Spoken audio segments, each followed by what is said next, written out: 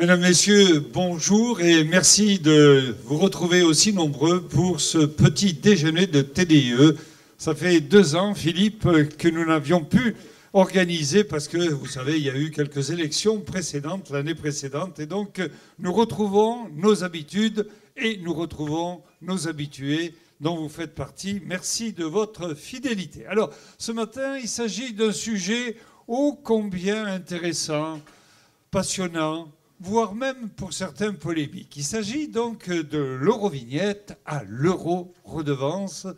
Où en est-on, Madame la députée européenne, de la préparation à la révision de la directive Eurovignette? C'est d'abord un débat d'actualité. Un débat d'actualité avec, euh, je viens de le dire, le rapport de Christine Revaud-Dallon-Bonnefoy qui est là et qui nous fait l'honneur d'être présente parmi nous.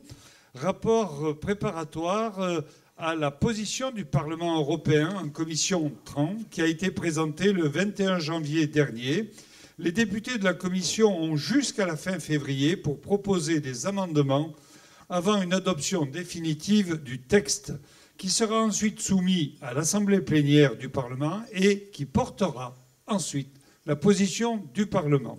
Mais vous avez également le député de la Sarthe, notre collègue Damien Pichereau, qui a présenté son rapport et son projet d'avis sur le paquet mobilité 1 de la Commission européenne en commission des affaires européennes de l'Assemblée, avec peut-être quelques nuances avec le premier rapport dont je viens de parler. Puis vous avez la fameuse publication du rapport du Conseil d'orientation des infrastructures qui est présidé par euh, Philippe Duron, ici présent à la table d'honneur, co-président délégué de TDIE, notre Philippe Duron national. Voilà. On peut l'applaudir hein, parce que le travail, le travail que fait Philippe depuis des années dans les transports permet de faire avancer le public, ce qui est quand même important dans ce pays, où on parle beaucoup et on ne fait pas assez, selon moi. Mais enfin, donc, euh, en France, le dossier de l'écotaxe a été clos dans la loi, par la loi de finances de 2017, qui a définitivement abrogé le dispositif.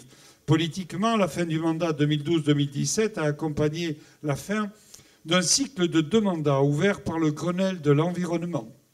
La recette attendue de l'écotaxe, je vous le rappelle, devait alimenter la FIT. Elle était au cœur des réflexions de la commission Mobilité 21 déjà.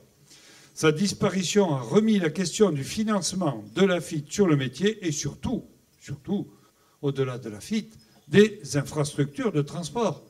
Nous voyons que les États-Unis, qui dans ce domaine ne sont pas très vertueux, le président Trump vient d'annoncer un plan de 1500 milliards, dont 1100 milliards uniquement pour les réseaux de transport.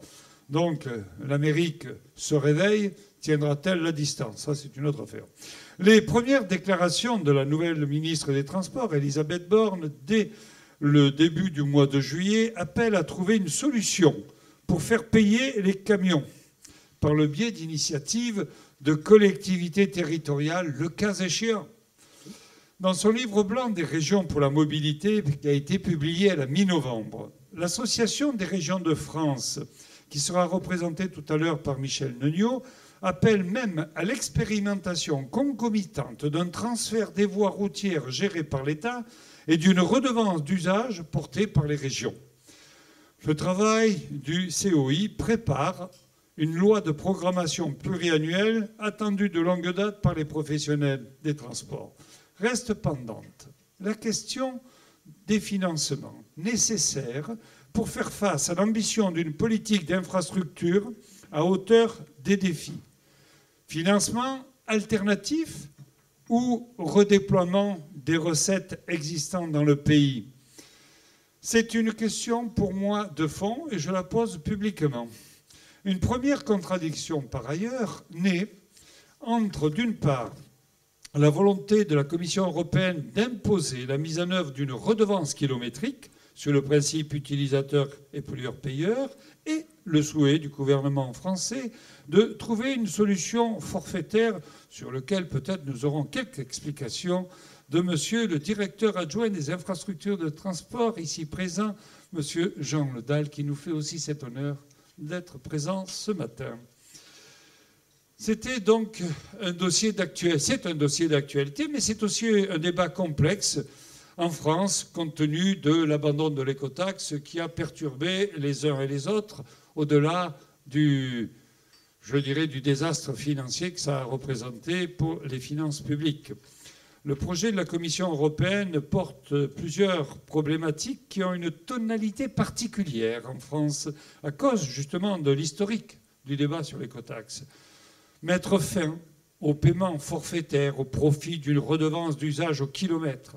Il s'agit ainsi de mettre en œuvre les orientations du livre blanc européen de 2011 qui portait le double principe utilisateur-payeur, pollueur-payeur clarifier de ce fait l'objet de la redevance, dont les recettes doivent d'une part contribuer au financement de l'infrastructure et d'autre part à l'internalisation des coûts externes.